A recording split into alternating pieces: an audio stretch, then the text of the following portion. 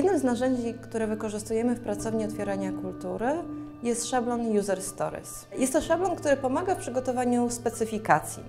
W pracowni wcale nie uważamy, że coś takiego jak specyfikacja e, narzędzia cyfrowego powinno być pisane tylko przez specjalistów, tylko przez programistów. Taki dokument, jakim jest specyfikacja produktu, powinien jednak powstawać w, we współpracy z całym zespołem projektowym, również z osobami odpowiedzialnymi za jego merytoryczną e, treść, po to, żeby w trakcie pisania specyfikacji nie uciekły nam różne istotne funkcjonalności, czasami które będą jasne dla osób, które merytorycznie projektują narzędzie, co jest częste w instytucjach kultury, a niekoniecznie muszą być zrozumiałe i czytelne dla programistów. I teraz wracając do szablonu User Stories. Służy on temu, by przez chwilę zastanowić się, przeanalizować każdą funkcjonalność, którą chcemy wprowadzić do aplikacji, do narzędzia cyfrowego, do strony internetowej, przez taki pryzmat kto, co robi i dlaczego. Kto, czyli kim są osoby, które będą korzystać z naszego narzędzia. Czyli użytkownik, ale też warto pamiętać, że specyfikację pisze się dla administratora stron, dla tych osób, które obsługują tak zwany backend narzędzia cyfrowego. Przykład, kto? Administrator.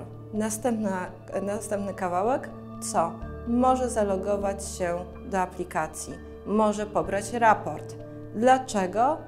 I tutaj to dlaczego nie zawsze jest obowiązkowe w każdym user stories, w każdym takim kawałku, natomiast warto mieć gdzieś na uwadze i z tyłu głowy to pytanie, żeby weryfikować też to, czy przypadkiem nie nadmuchujemy zbyt dużo funkcjonalności, idąc taką intencją, że jeżeli nie, nie wpiszemy teraz tego wszystkiego do specyfikacji, to za chwilę okaże się, że programiści powiedzą, że czegoś nie było w specyfikacji, więc teraz jest nam to, nie możemy tego wdrożyć.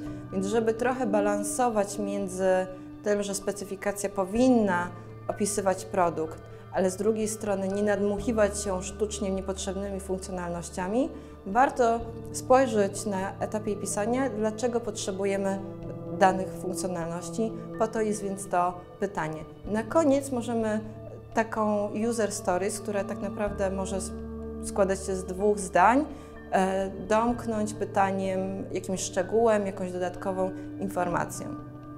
To, co jest też istotne, że user stories nie powinny powstawać w zaciszu jednoosobowego gabinetu, ani osoby merytorycznej, ani programistów. Musimy zderzać to, co piszemy z innymi osobami, również po to, by sprawdzić, czy język, którym posługujemy się opisując poszczególne user stories, jest, ten, jest zrozumiały dla wszystkich osób zaangażowanych w projekt. Przykład, słowo raport może być zupełnie inaczej rozumiane przez osoby merytoryczne i co, coś innego mogą mieć w głowie pisząc, mówiąc to, a zupełnie czym innym jest na przykład raport rozumiany przez programistów czy w języku e, potocznym. Dlatego też e, przy User Stories czasami warto może poświęcić chwilę na spisanie legendy, terminów, które się w nim pojawiają e, i też e, tak by były one czytane dla wszystkich stron.